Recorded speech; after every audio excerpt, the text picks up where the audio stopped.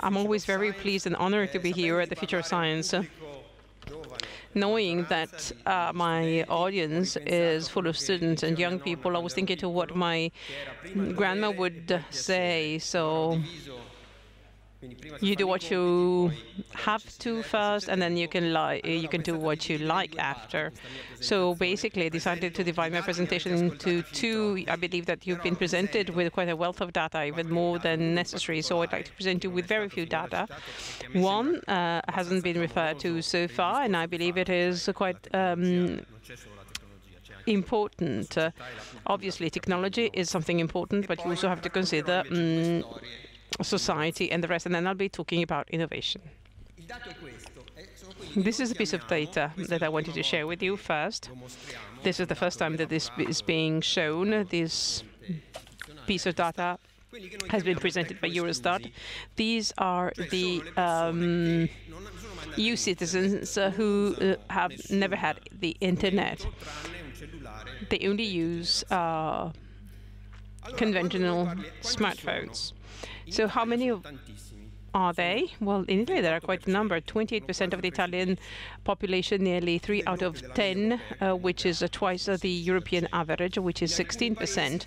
In certain countries, as you can uh, see on the map, though there are much less of that, there are nearly next to zero, as in the Netherlands, for example. So everybody actually having an uh, internet connection. Well, this is an important piece of information. When, whenever we refer to digital revolution, I think it is only right to highlight how many nice things are being uh, brought about, but we also have to consider that 28 Italian citizens are going to be left out. This figure has been increasing or uh, enhancing over time. Between 2010 and 2015, the number of the internet illiterate declined. Uh, Bulgaria, Greece are perhaps the only countries that do worse than Italy and Romania as well. And this is not just an infrastructural data in that, that these people have no access to the internet. This is not the only problem. There's a cultural problem that I wish to highlight. This is a figure that has been made known by the Istat and um, confirms what the above. You see that um, in the south, basically, you have more people who have um, never had contact with the, the internet and uh, people of a certain age, so older people. And uh, people with a um, lower level of culture have no access to the internet. So there's also a gender difference, especially uh, after a certain age. And I was also referring to culture. With my colleagues, so we've been trying to introduce a new indicator, which we termed open, opening, or being open to the what is new. At times, it looks like it is uh, um, one's personality. Whenever you refer to a new field of research, as if it could be nanotechnologies or biotechnologies. Um, nowadays, we could uh, mm, refer, for example, of artificial life uh, or genetic editing. So whenever such subjects are brought about, there are people who react very differently. And as a matter of fact, that there are those who can be more open to what is new. And uh, as you expect, young people are usually more open. And people with better education uh, are more open, not because they can avail themselves of greater information, but because they are um, welcoming uh, innovation because they can manage the consequences and the negative consequences more swiftly. So um, since they have a greater training, they feel they cope with potential negative uh, repercussions. And this uh, was uh, what I felt I had to say. No. The chairman referred to this book, kindly enough. This is um, a small book of mine called Per un pugno di idee, for a handful of ideas, where basically um, what I say is that, that to understand all innovations, uh, digital innovations involved, we cannot just focus on technology. Technology obviously playing the lion's share when it comes to innovation, but there are other aspects all the same to be always considered as it, thus being, for example, society and culture. This is not just theory. This is something that has a direct repercussions to all of us. Um, now, to refer about something um, recent, you know, there has been a controversy between EU institutions and Apple, as Apple has been blamed not to pay taxes as it should. So if we'd like to understand um, other current uh, affair cases, and we've just heard, for example, that innovation such as Uber is not just a new way to um, transport people, but it has to be seen in a social context where it may have different repercussions. It could be uh, ruled or um, could be left free of rules. So in this book, there are little stories, anecdotes that are told. And these stories basically all aim at stating three main things. Innovation is a collective process.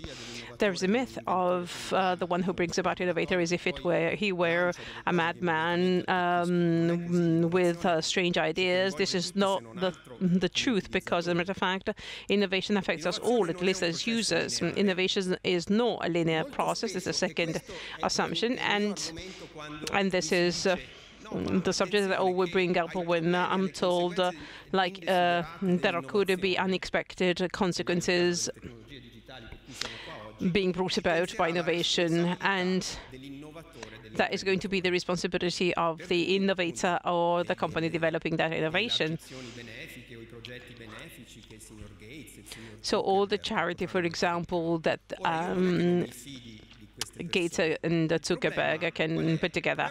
It's not that I don't trust these people, but the problem is that the innovator, and I'm going to tell you about a case, well, the innovator um, doesn't know what uh, he or she has invited. Thomas Edison, perhaps one of the greatest inventors worldwide, when he invented the phonograph, um, which is prehistory, but in a way it is the predecessor of the um, displayer, he uh, draws a list of things that it can be used for, and listening to music would be the last of his priorities. He thought that it could have been a way to uh, for a manager to tell his assistants what to do. So again, innovation is a collective process, is a non-linear process, and that is very windy, and uh, um, it includes a lot of ups and downs, but it also is a process of technological change and social and cultural change as well. Now, I'd like to show you a couple of videos, but wait a minute before you start the videos, and those are going to be the examples I'm going to refer to. So why should we focus on technology so much? Why should we just focus on that? Well, experts refer to that as technological determinism.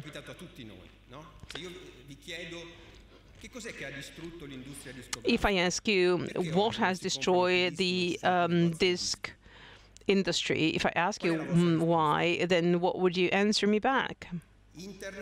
It is the internet, MP3. This would be the answer, wouldn't it? Well, if this is your answer and is often the case, well, you are wrong. There's a very famous actor um, and director, uh, um, a late actor and director, um, I start, who refers to technology determinism.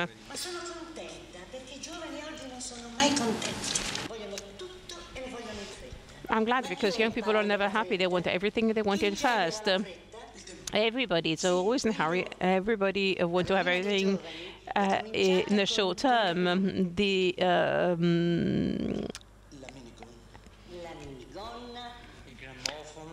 the tragedy of young people started uh, with the miniskirt perhaps also the disc player.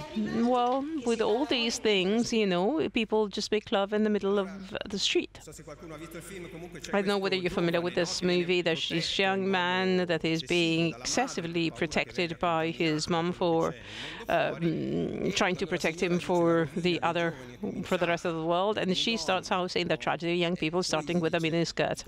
And then um, the young man says, uh, the display, the, the, the displayer as well. Again, the new technology is found guilty for all the evil things that have happened afterwards. Earlier on, I referred to the crisis of the disc industry. Well, MP3, mm, we're all familiar with, which is the more widely disseminated uh, format to listen to music nowadays. Well, MP3 was born in a very interesting, uh, under very interesting uh, circumstances. An Italian engineer, Chiariglione, asked his colleagues to join him. He was looking for a way to share music, video, considering the constraints that existing at the time. A tender was uh, put together that was financed by all of us, all the European institutions, and the, mm, large-size companies were all involved. And as a result, and I'm going to be a bit blunt on that, the result is just but an algorithm, and that algorithm basically um, uh, sacrifices certain, frequ certain frequencies that are not so important for the human ear to the benefit of the um, measure of the um, file. Two American people then um, set up a company using MP3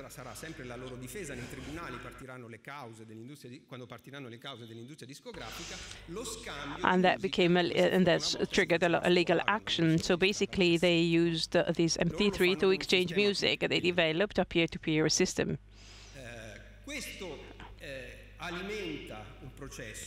this triggers a process that led to the crisis of the um, industry of discs. But who was the killer?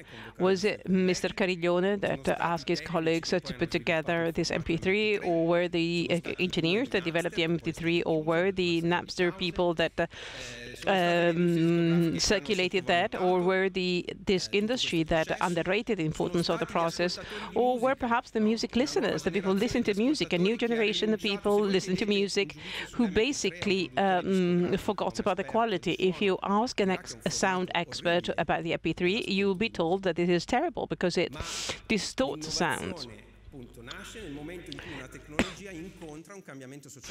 But innovation is the result of technology combined with a change in society. So there was indeed a group of people that were willing to forego part of the quality of sound um, for the sake of having the possibility to have music circulate. So who was the culprit?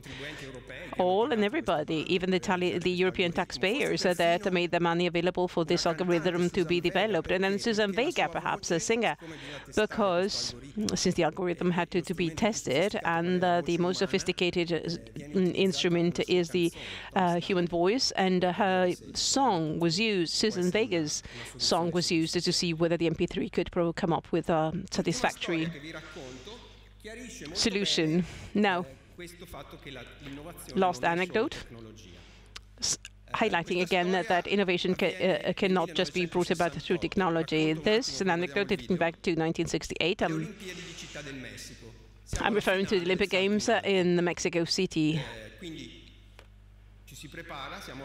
So the athletes are getting ready for the last competition, and there is one of the athletes that is uh, jumping completely different. So everybody is jumping um, on their womb, and he would jump on his back.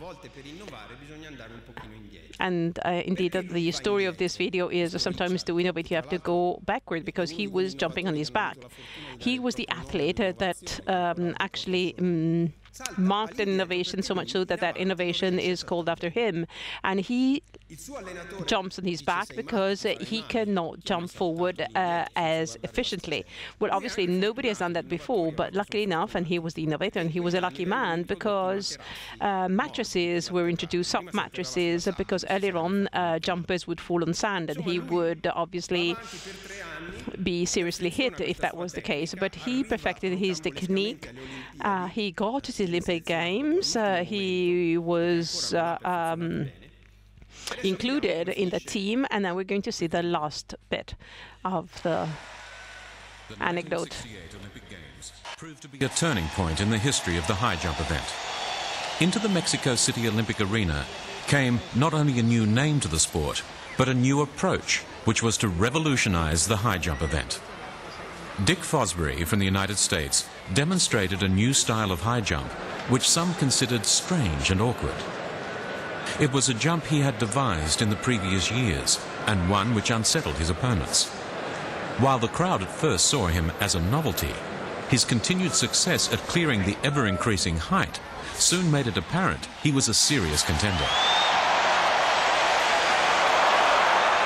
Valentin Gavrilov from the Soviet Union failed at his attempt of 2.22 meters, while Fosbury and his US teammate Edward Caruthers cleared their way to a jump-off. The bar sat at 2.24. Caruthers failed, and Fosbury took his new style of high jump over the bar and into the history books. Fosbury had won his gold. Within a few years, the Fosbury flop had become the standard method of jumping in this great Olympic sport.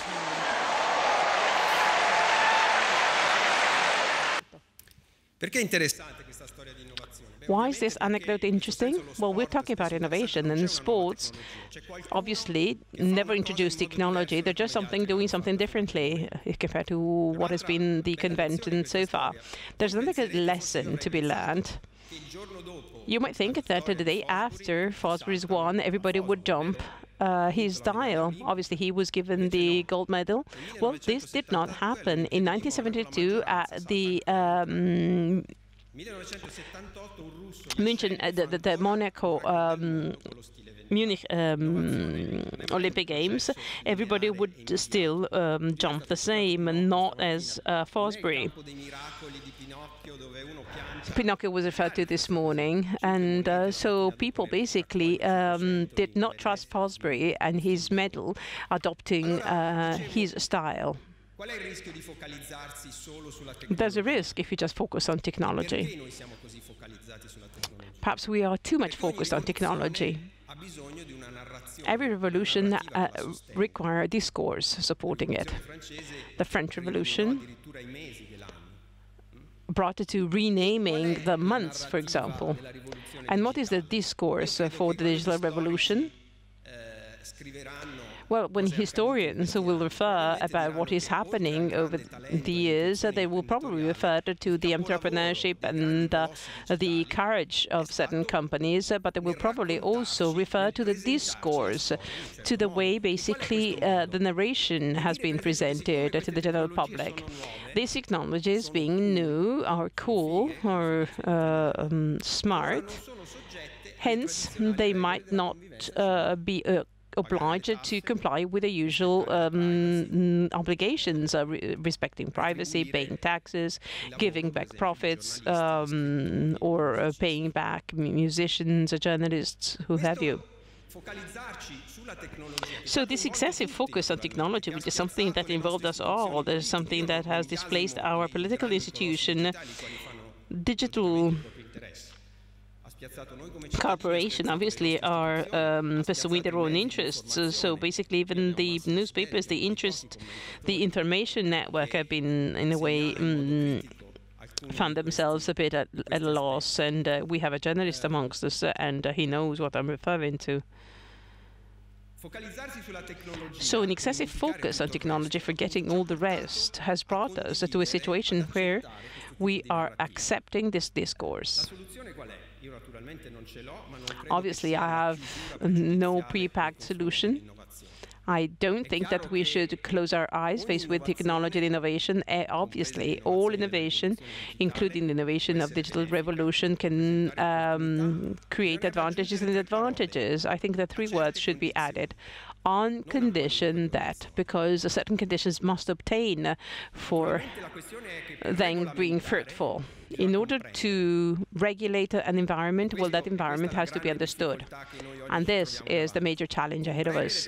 We have to understand before we pass laws or regulate. These technologies, for example, contributed into transforming certain habits we had, such as uh, um, reading the news, listening to the music, but these habits of ours have been transformed so much that we cannot recognize them anymore. And we believe that uh, since they are easy to use, that means that we can control them. Obviously, any kid could use a touch phone, but certainly no kid of two can actually know how a touch or a smartphone works or a touch phone smart works. So using something doesn't mean you understand the way it operates. But to regulate something, you have to understand. And with the fork, for example, we have a great innovation. It took 700 years for the fork to be widely disseminated. You might think it is incredible. You might think incredible that there was a time when the fork wasn't used. Francis Bacon was wondering about innovation uh, in the 1600s and said the time is the greatest innovator. Well, when you have an innovation, you might never think that there was a time when that wasn't there with you. Sapete quanti anni sono trascorsi dal primo, dalla prima vittima in un incidente automobilistico You know, you know how many years passed be- mm, from the time the first um, car casualty was caused and the time when the first regulation on the uh, car traffic uh, was uh, imposed. So there was a steam car, and a lady was the casualty of an accident. And it took 1966 Soprattutto di un before we had the first um, piece of legislation passed in the US uh, um, regulating morivano per come the car industry. dentro le auto, senza nessuna People were dying not because uh, cars were traveling too far. But the car industry would resist uh, the adoption of laws because uh, uh, they said that nobody is interested in safety and security. Everybody would be much more preoccupied with the cosmetic look of a car rather than with the safety. So it took the society 300 years to for to understand um, that people could die in the car and to legislate on that. Quando racconto questa storia che a me sembra incredibile, il sottotitolo è la tecnologia c'era, la società ancora no. So sometimes the technology is there, the society is not ready for something. The same goes with safety belt in the car that uh, were available many more years before they became mandatory. Viaggiava a una velocità elevatissima. There was a driver mm, driving at a very fast speed, and I hope that it won't take us 100 years uh, to understand The culture that goes with innovation. I hope that we can have the culture that goes with the digital revolution before casualties are caused. Thank you.